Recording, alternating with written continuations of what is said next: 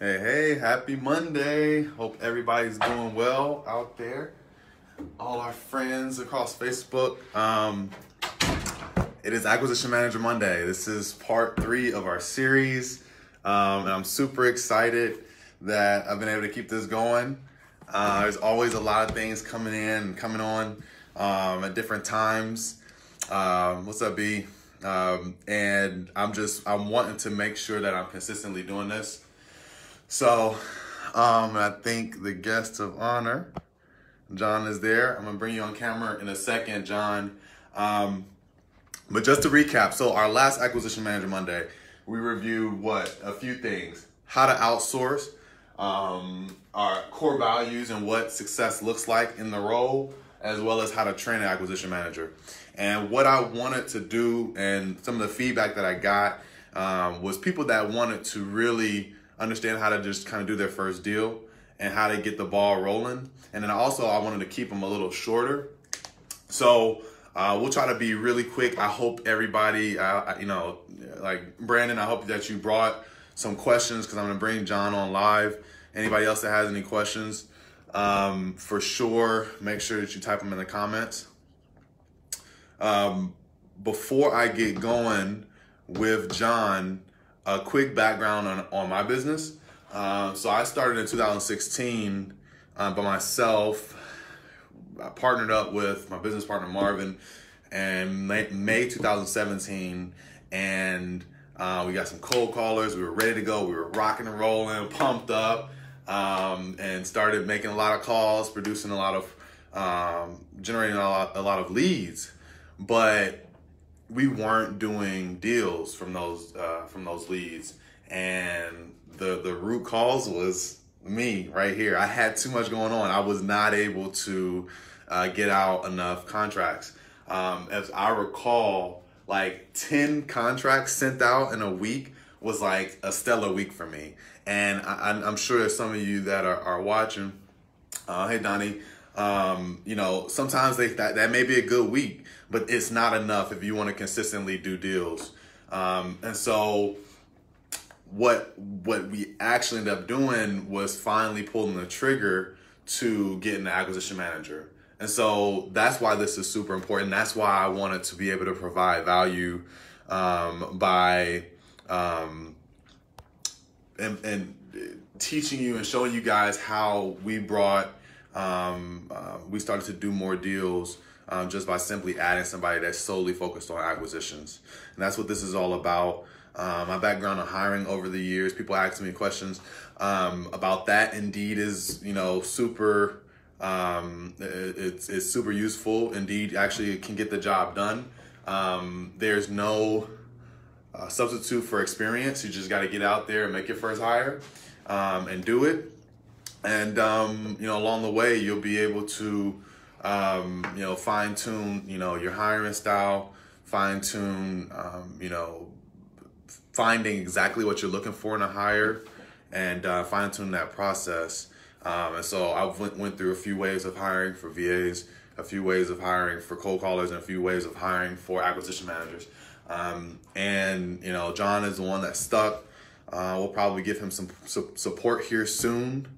Um, but uh, yeah, that that's it. Like once you get that locked in, um, like that's the most important part. Again, um, just doing uh, and getting somebody to consistently um, make offers and assure up the most important part of your business. If you're a real estate investor, it's acquisitions. That's whether you're a landlord, a flipper, uh, rehabber, whatever. Um, finding properties at the right price and acquiring them right you should not lose unless something catastrophic happens. Um, so that's why this is super important. So, so that's it. That that's that's a quick uh, brief recap. I'm about to bring John on. Um, before I do, if you guys like uh, like that, I'm about to bring him on. Give me some likes, some hearts. Um, let's let's make sure some people are able to see that we have um, we got John coming on.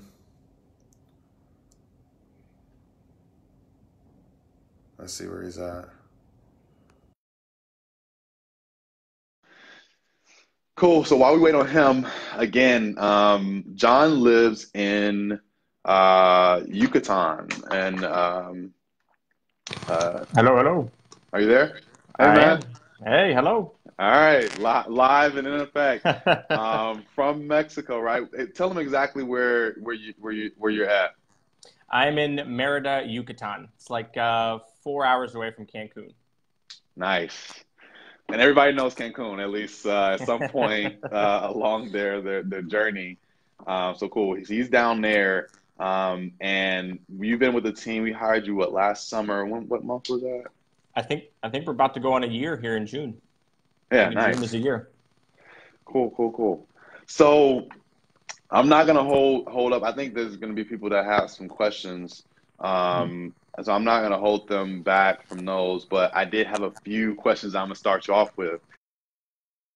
Um, first one is just, you know, um, what was the hardest part for you getting going in real estate investing in general?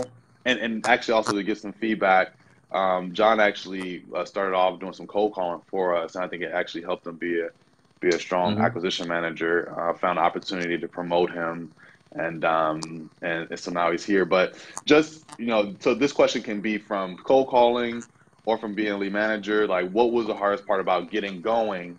You know, actually be, being able to speak to sellers and understand this business. Um, there was a, a lot of things. Maybe that's a loaded question, but I think probably just get getting my like. I was really nervous at first about making an offer and understanding if I, you know, if I was going to make an offer that was way off or that fear, uh, but just mm-hmm. jumping in, calling and doing it, it, you know, I cut the hang of it pretty quick. So just, just jump. I guess it was mainly the hardest part was like my own self, my own fear of things, but jumping in relieved that. Yeah, man, that's that's that's real. Um, mindset is everything, and there's plenty of people that will say like, that is the most important thing uh, about um, being an entrepreneur in general, uh, or being in the business of you know going out and creating, carving your own path like you you've been doing, um, is having a strong mindset. So um, super good point. Well, what do you wish you knew um, then that you know now about what you're doing? What's making you successful now? Uh, yeah. I was just thinking about that. I, I think it's uh, like most things, it's it's a balancing act.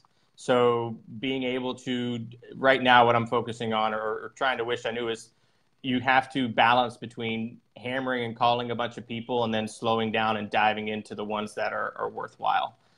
Mm. And being able to balance that is, I think, where you you get the most results. Yeah, for sure, for sure.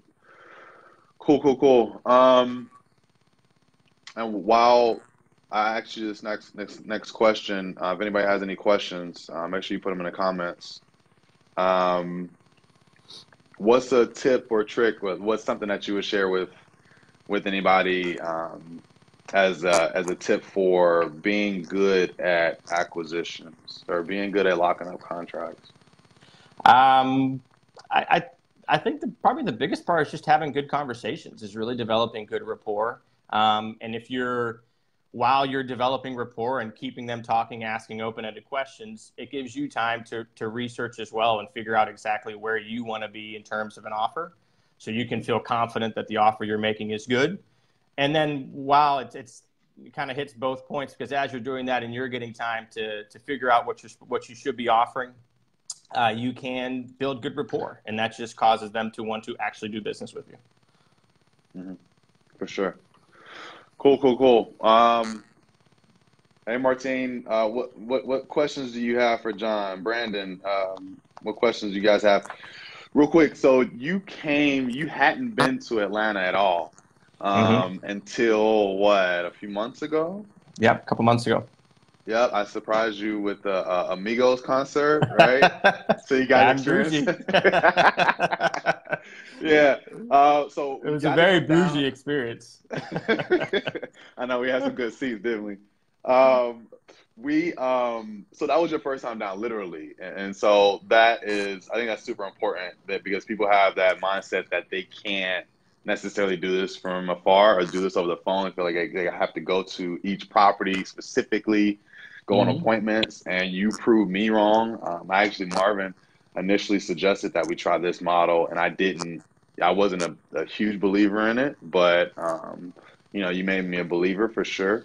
Um, but there was uh, so there's some questions here, but I'm gonna get back to that because I want to know about uh, experience that you had on your trip when we went to uh, closing.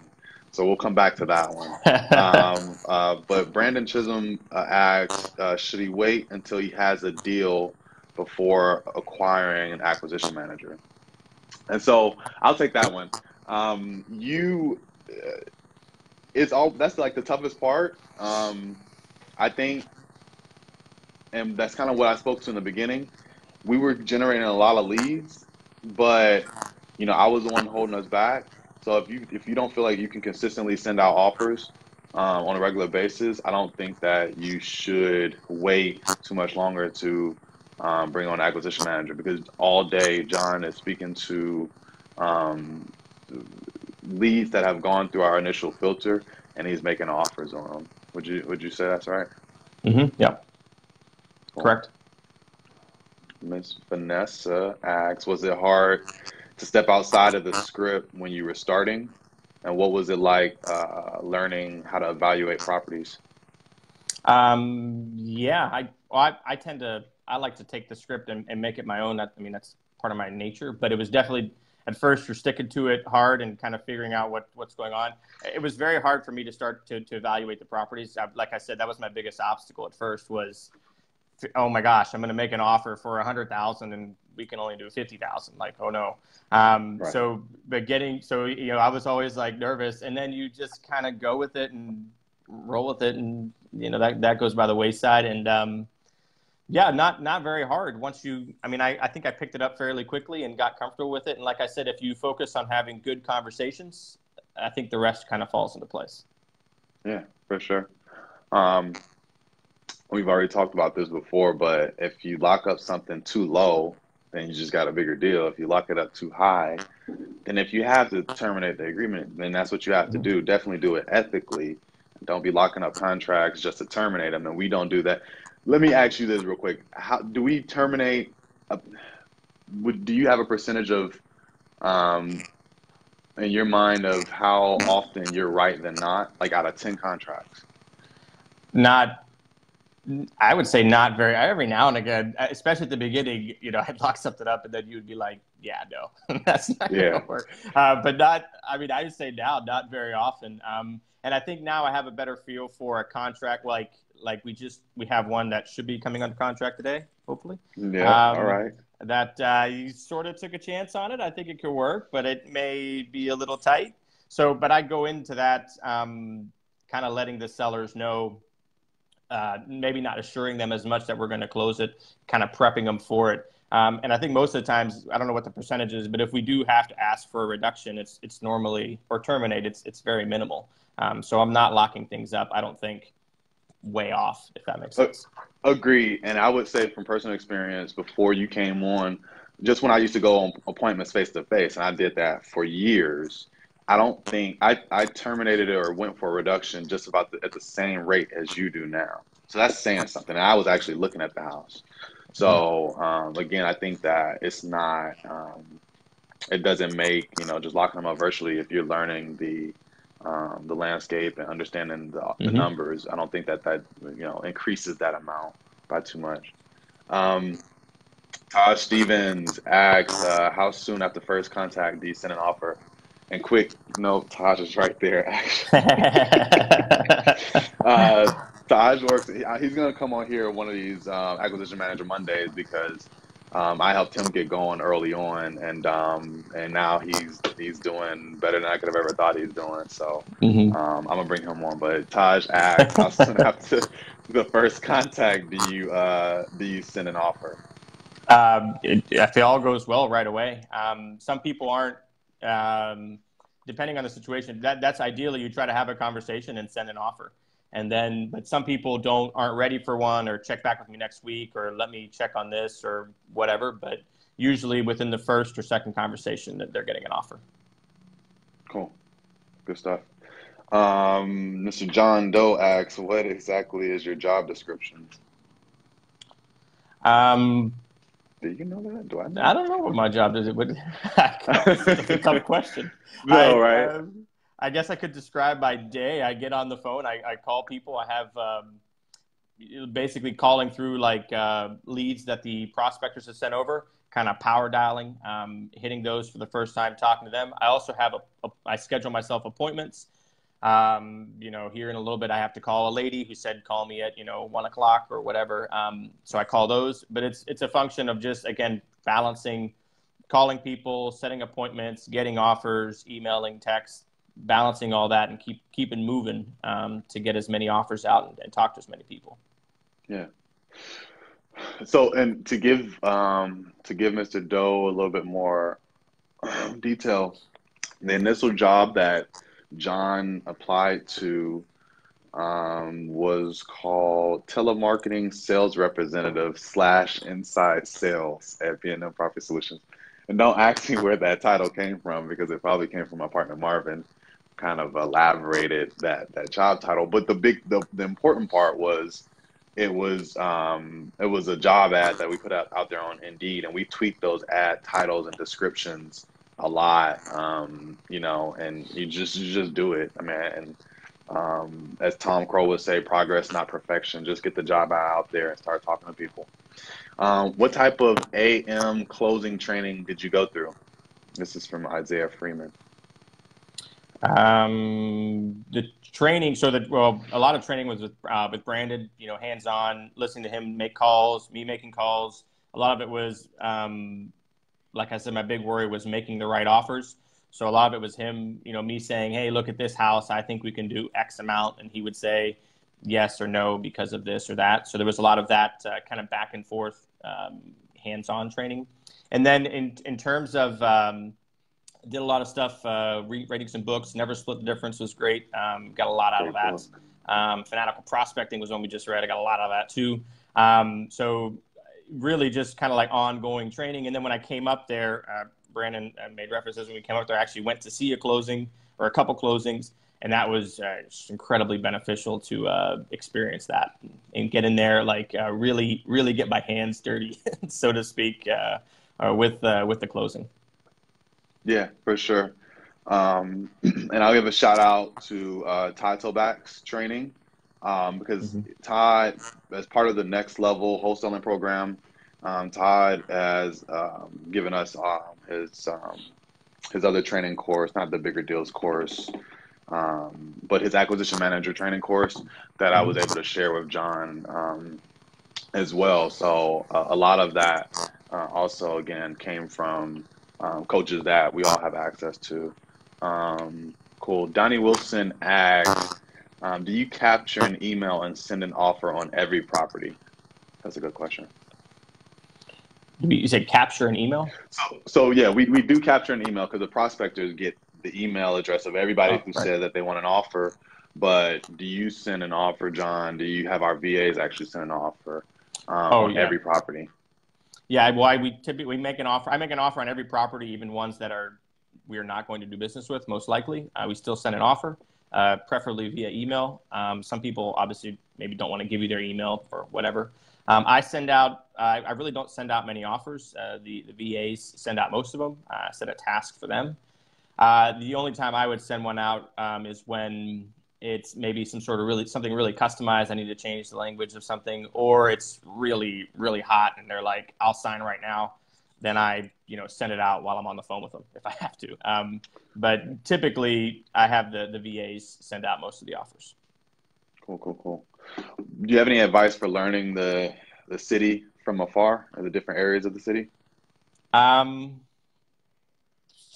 again, I think that was all all kind of happened for me, just making offers and seeing what worked and what didn't work, kind of like try, trial and error a little bit. Um, obviously, um, one of the biggest tips I could give for anybody is to just take tons of notes. So anytime Brandon, anything, anything was ever said, I was constantly taking notes and going back to those notes and was like, oh, if it's you know this part of the city, I remember Brandon mentioned this, and being able to piece those things together. Uh, also looking at other other um, other deals that have worked. So hey, we just did a deal, you know, the street over here for this, and that house was smaller and in worse shape. So I think we can do this amount.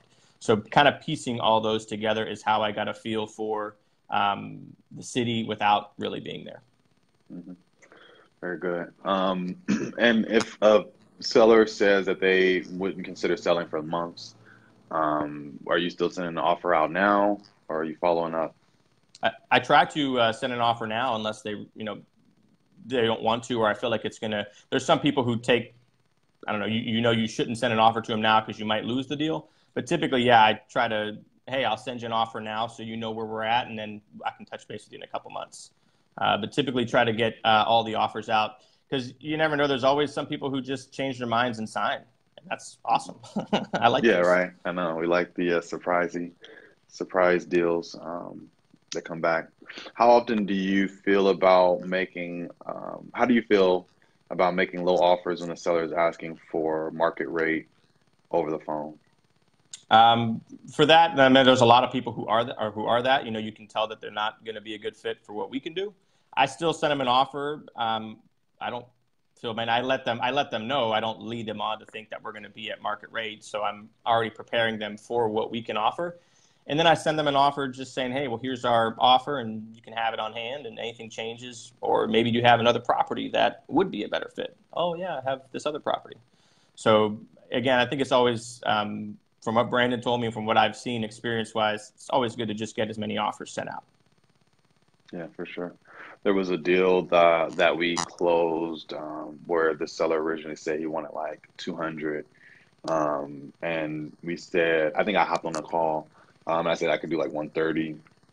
And after a little conversation, he came down to like 150. Like he, he gave himself a haircut, and I think we sold it for 170 in that scenario. Um, so you never know, even if somebody puts up a block and says, um, you know, I want X, you never know. And then make sure that if, if you are having cold callers send those leads over, that you're kind of looking at those notes and making sure that they're not over filtering the leads out as well, um, because if people will put up those blocks. Um, John Doe asks if you do any lead gen. No, you used to do some lead generation, you used to do cold calling, but these days, everybody that you're speaking to, our, our prospectors have already spoken to them once before, right? Mm-hmm. Yeah, well, I call probates, uh, but uh, True, that's the only true, one. true. Yeah, that's the only ones. Probate ones are hot, so we like to keep them, keep the iron in the fire um, as much as possible. Uh, so Brennan asked, um, offers sent via email or mail. I heard someone say mail is a good way to take up real estate in the home. Maybe they would keep seeing the offer. Um, I'll take that one. So we send, for the most part, everything via DocuSign, via email. Um, if somebody asks for a paper copy, um, we'll send it. But there was a time that we would send, we were racking up a lot of uh, a heavy bill um, using um, mail merge and click to mail. We were sending paper copies 10 days after the initial email offer went out for everybody. And I don't think any of them came back signed. So um, I think that's why we curbed that. And then additionally, I think Tom Krol had mentioned back in the day, um, like don't send them offers um, in the mail if they're not ready to go right now. Um, so there, I think he was saying that for a few different reasons. Um, I think he was saying if it was like a, a, a warm lead, um, if it's cold, you know, you always hear, you know, everybody gets an offer. So I would say test it, but we tested it for a while of sending paper copies to everybody 10 days after, automatically 10 days after they got an email offer, and it didn't really return return any results. So now is everybody gets an email unless they specifically request a mailed offer. And that's been Mhm. working pretty good. Um, charac- characteristics. One should have to be a great AM. I, I, I'll speak. I'll answer that one as well because I think I talked about that last. Um, the team member mindset, uh, coachable, and um, the uh, good communicator. I think that was my top three from last week.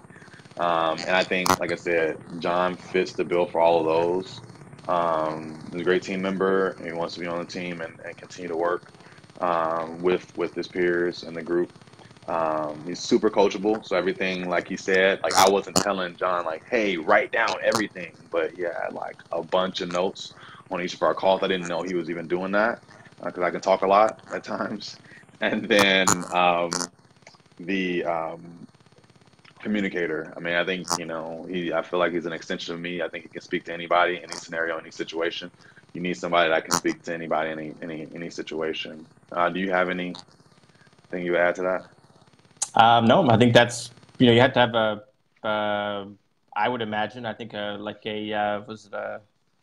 I don't know. I always say I'm a workhorse. That's what I do. I want to work. I want to get in. I want to bust out calls, and you know, I just I think that's ultimately because it is. Uh, you know, you're calling a bunch of people. It's not exactly fun to get rejected all the time. So you have to have that mentality to keep going, keep pushing. For sure. The last thing, and, and this is like a, a, a core belief of our entire organization, is like personal growth and development. Um, we do like a weekly coach, a weekly um, um, chapters review. We, we pick a book and we'll read through, and that's everybody on our, our acquisitions team. Um, yes, Vanessa he is bilingual, so he can't speak to Spanish leads, uh, which is super nice. Um, and I would hope that he is living in uh, Yucatan. um, but um, the the ability and the want to learn and grow and develop. So I'll send different posts over that I get from Brent Daniels and what he's doing, or Luke um, that worked for Brent at a time, or or Todd, or or, or Tom. Um, and these are the people that taught me, uh, or, or uh, John Martinez and people that I learned from, and I'll share that with him, and he learns from them too. So having somebody that's wanting to to continue to learn and develop and uh, fine tune his craft is super super uh, good. One more question for you, and then I'll ask mine. Um, are there expiration dates on the offers, and do you send them signed on your part? So I'll, I'll, answer, I'll answer that as well. There, um, we do have what a 30 day expiration on the offers. Oh, I think it. Uh, I think it's like a week, isn't it? For the no, ones that right. your DocuSign, it's like a week. You're week. Five days. So I used to have them like um, 30 days, and I think that now they're a week, um, and they are signed. Um, and I've heard, I've heard other, uh, you know, different opinions on that. That you should send them and not sign them. Um, but you know, it, it, it's worked for us. I think we've gotten a few back in the mail signed from the other party. Um, but you know, I would say test it. It's not it's not going to make or break you. Um, I don't think you'll see a big lift or a big boost um, one way or the other. I would say test it and try it out. Um, cool. Let me ask you this. So going back to your experience here, and I'm gonna preface this by saying that uh, John is a former Marine, uh, U.S. Marine, and he's he's seen you know he's um, been in the trenches um, but I don't think he had been in the trenches like this closing that we went to. So no. it was a great situation. um, up in uh, Peachtree Corners, Norcross. so it was super smoking hot. Uh, we had a bunch of people show up at the property, um, and uh, they were sitting there talking with the seller. It was crazy, and um, but the guy uh, was um, honorable. He he wanted to continue to work with us. But somehow, magically, somehow on that Friday, we had the seller and the buyer scheduled to close at the same time. So John, this was his last day in town. I had him come with me, and like the seller's in there. We go in, we start talking to the seller, and the buyer shows up, and I try to step out um, to like kind of keep him apart, and I realized that I couldn't keep them apart, so we had to, you know, uh, have them in the same closing room uh, at the same time, and it was crazy. But I'm gonna let you speak to that. What was what was that experience like? And then um, you had mentioned that it maybe makes uh, it made you a stronger acquisitions manager after that. So tell me about mm-hmm. the experience first, and then uh, why you think it made you stronger. It was uh, it, it was uh, so everything you know, like I mentioned a couple times, is having you know, on the phone, having good conversations, building rapport. You know, we, uh, you know, you can. Some people don't want it, you know, don't want to build rapport. They just don't want to talk to you. But basically, that that's how you to get deals. Um, and this um, this uh, thing was just like small talk, building rapport for like two hours nonstop, face to face. And it just um, it, I had to pull from every experience I've ever had in life about anything just to yeah. keep conversations going. Um, but it was, I mean, it, it was like nerve wracking and my hands were sweating. It was crazy. um, but, uh, but it, you know, worked out. We walked out of there. It was great. Uh, but I think it helped me on the phone because if I mean if I can go there face to face and be in that crazy situation, you know, on the phone is, is essentially a piece of cake. You know, that's all they have to do on the phone is talk to people, keep them, you know, keep them building rapport and all that. And so I think this was like a, you know, boot camp for rapport building. Uh, basically, it was really yeah. it was it was intense, but really, uh, I feel like I learned a lot uh, that I can use on the phone as well. Yes, for sure. Um, and I think that goes back to the good communication skills. Um, I think this is something that goes unspoken in training um, to learn how to do this business uh, or be uh, in wholesaling and real estate is the ability to communicate and connect with anybody. You have to be able to find commonalities. You have to be able to speak to your experiences. There's more talking points than you could ever think of, um, but you just have to continue to connect with people, build a rapport. Because I think we talked about like race cars, eating habits, restaurants, so, like... solar panels. If there was a long conversation about solar panels too. um, it was it was crazy. I think we were even talking about the uh, the royal baby that was coming or something. the guy was from from Europe. Um, but it was it was it was an experience, and um, we both came out of it like super pumped, and um, that just goes back to like being able to think on your feet um, and communicate well. So um, good stuff, man. John, I appreciate you coming in and joining us on Acquisition Manager Monday. I'm gonna have to Thank definitely you. have you back for sure. Um, remember, guys, if you're in Atlanta, uh, REI Live uh, meets third Thursday of every month. This Thursday at the West End, details will be in my profile, but we have an awesome panel of other investors um, that'll be here talking about starting this business. You guys can come meet me in person. I'd love to talk to you guys about this business and any help I can give. So we'll be back on Mondays again, acquisition manager Monday next Monday, and maybe I'll have John pop in from a time to time or a time or two. Um, yeah. But he's a rock star, so um, we got to make sure he's back, um, you know, doing what he does best. So sure, cool. All right, you about to jump back into it? I'm about to. All right, All right. cool. Bye, bye, everyone. See you. All right, see ya.